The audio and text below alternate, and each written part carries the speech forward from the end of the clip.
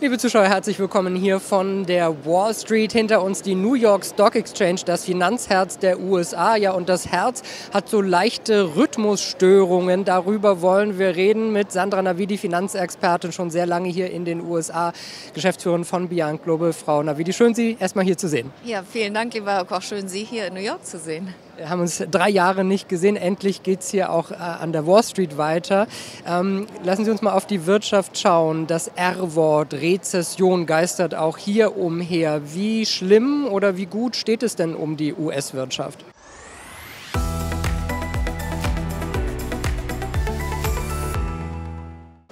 Ja, im Moment steht sie noch relativ solide da, wobei wir eine Konjunkturabschwächung sehen. Also die Daten sind relativ eindeutig. Ob es tatsächlich eine, eine Rezession münden wird, das ist strittig. Die überwiegende Meinung ist tatsächlich, dass die Wahrscheinlichkeit deutlich zunimmt. Ähm, Janet Yellen, die Finanzministerin, bestreitet das zwar noch, aber sie war auch diejenige, die falsch mit der Dauerhaftigkeit der Inflation lag. Larry Summers, der die Rezession relativ deutlich und früh vorhergesagt hat, sieht sie tatsächlich kommen. Auch mein ehemaliger ehemaliger Chef.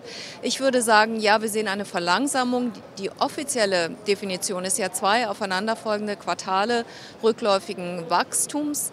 Ähm, das werden wir wahrscheinlich sehen, eine deutliche Wachstumsverlangsamung. Aber die Frage ist, wie lange wird die andauern und wie schlimm wird die? Und da sollte man vielleicht nochmal hervorheben, dass die Wirtschaft an sich relativ solide ist, also der Unterbau, das Fundament, dass selbst wenn es zu einer Verlangsamung kommt, die Chance doch recht gut ist, dass die Wirtschaft sich auch dann wieder erholen kann. Auch hier eins der großen Themen Inflation, äh, hier noch stärker sogar als in Deutschland. Die galoppiert förmlich. Äh, Sie haben Janet Yellen gesagt, auch äh, Jerome Powell, der US-Notenbankchef, die hätten das nicht so für möglich gehalten nach den Aussagen. Wie ist die Situation hier einzuschätzen? Muss die US-Notenbank einfach immer stärker eingreifen, immer höher die Zinsen stärker erhöhen, um dagegen zu steuern? Ja, Paul hat gesagt, nichts ist vom Tisch. Wir müssen alles Mögliche tun, um die Inflation zu bekämpfen.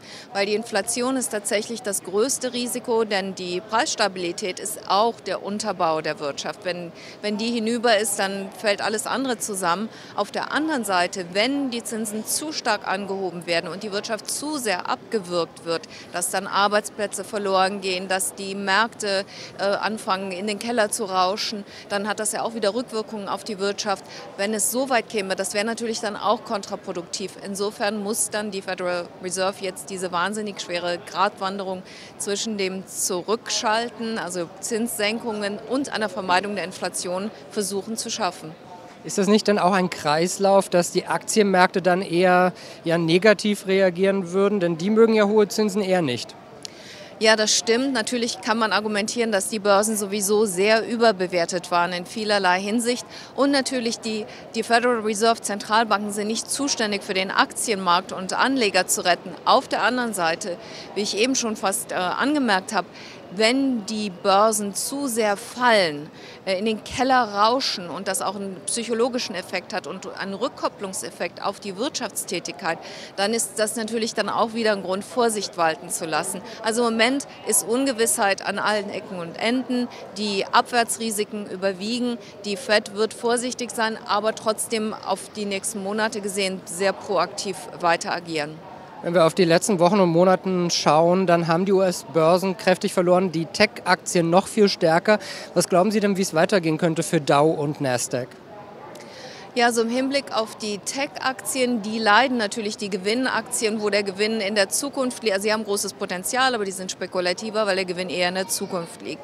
Ähm, das ist natürlich bei ähm, steigenden Zinsen, da profitieren dann eher die, ähm, die Aktien, die, auf die man braucht. Also Lebensmittel, Chem wie sagt man, also Drogeriemarktsachen, solche Geschichten, äh, die profitieren, die werden sich wahrscheinlich auch weiter halten. Die haben Preissetzungsmacht, die können die Preise, gestiegene Preise an die Bevölkerung weitergeben. Im Hinblick auf Tech, Tech ist natürlich ein weites Feld. Wir haben die Tech-Giganten, wir haben die kleineren, spekulativeren, die zum Teil nur auf einer Idee beruhten, die 15 Angestellte haben und auf Milliarden bewertet wurden, wo so viel Geld unterwegs war auf der Suche nach Deals. Also da werden wir wahrscheinlich jetzt sehen, dass sich die Spreu vom Weizen trennt. Ich gehe davon aus, dass die Großkonzerne wie Amazon und Microsoft und diese Geschichten langfristig stark bleiben werden. Ähm, aber dass es bei den kleineren, dass es da einen Aussiebungsprozess geben wird. In Deutschland sehen wir ja auch schon seit einigen Jahren so einen grünen Trend. Nachhaltige Investments, ESG ist in aller Munde. Gibt es diesen Trend auch stark hier in den USA? Ja, ich würde sagen, der ist hier geprägt worden. Da sind die Amis sehr früh draufgesprungen auf diesen Zug. Vor allen Dingen auch, weil das ein wirksames Marketingmittel ist. Es gibt hier fast kaum noch Fonds, die sich das nicht auf die Fahne schreiben. Unter anderem auch deswegen, weil man dafür höhere Gebühren nehmen kann. Weil ansonsten geht ja alles in Indexfonds. Ähm, also auf der anderen Seite muss man natürlich sagen, wenn man ordentliche Recherche macht, dann sind diese Fonds auch aufwendiger und teurer. Ähm, aber es ist keine keine Wissenschaft. Es gab ja jetzt auch den Skandal in Deutschland äh, bei einem deutschen Finanzinstitut, die, ich glaube, es war die DWS. Und in Amerika wird es auch zum Teil kritisch beleuchtet. Larry Fink hat sich dazu geäußert, es gibt wenige objektive Parameter, wo man diese Performance eigentlich nach messen kann. Es gibt Ratingagenturen, es gibt alle möglichen Transparenzmechanismen, aber es, gibt, es ist nicht so ganz objektiv. Und Larry Fink von BlackRock hat gerade auch nochmal gesagt, dass sie sich bemühen werden, da eben auch objektivere Kriterien, messbare Kriterien zu errichten, damit das Ganze nicht eben nur Greenwashing ist. Auch ein großer Trend hier sind die Kryptowährungen. Es war jetzt auch gerade hier eine NFT-Konferenz in der Stadt.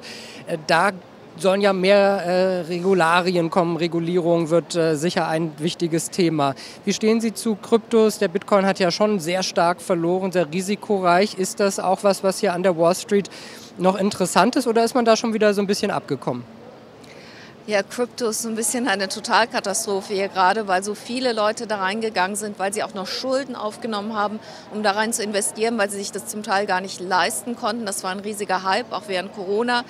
Ich darf sagen, ich habe immer gewarnt davor. Also außer zu Spekulationszwecken ist es sehr gefährlich und im Grunde wird den Kryptowährungen jetzt das zum Verhängnis, womit sie vorher geworben haben. Da steht halt kein Staat dahinter, keine Aufsicht, keine Regulation, keine Einlagensicherung, keine Abwicklungsbehörde wie bei einer Bank. Wenn eine Bank pleite geht, dann kommt ja am, am Wochenende dass die Aufsichtsbehörden heimlich da schon mal rein und regeln alles so, dass es keinen Bankrun gibt. Und bei Kryptowährungen sehen wir jetzt auch, dass manche Emittenten sagen, wir ähm, wir freezen das, also wir setzen die Assets fest, keiner kann mehr äh, liquidieren.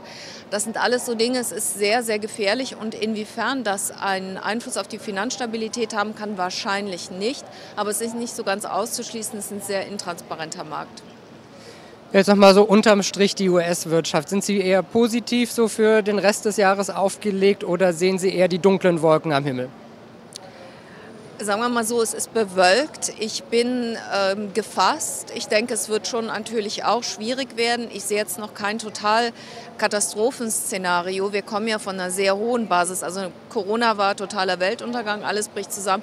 Dann ist die Wirtschaft zurückgeschnellt. Und jetzt werden wir natürlich eine Verlangsamung sehen, auch durch die Krisen wie Ukraine. Ähm, und Corona schwelt ja immer noch, das ist ja noch nicht ganz ausgestanden. Aber ich denke, wir werden damit umgehen können. Und uns äh, bleibt äh, wieder viel Gesprächsstoff. Dankeschön an Sandra Navidi von Beyond Global und danke Ihnen, liebe Zuschauer, fürs Interesse heute hier von der New York Stock Exchange an der Wall Street. Bleiben Sie gesund und munter. Alles Gute.